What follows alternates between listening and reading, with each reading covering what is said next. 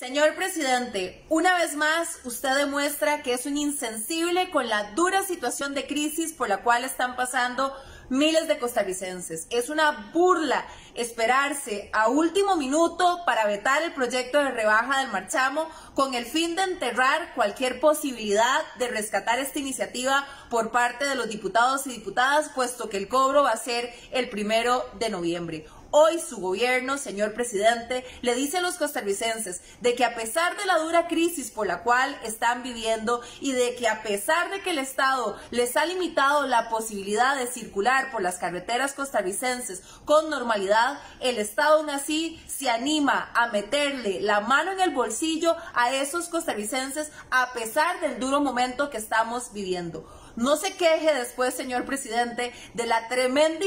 indignación que su gobierno un día sí y un día también ha cosechado en muchísimos hogares porque su gobierno sigue constantemente dándole la espalda a buenas señales de alivio a muchísimos hogares en nuestro país.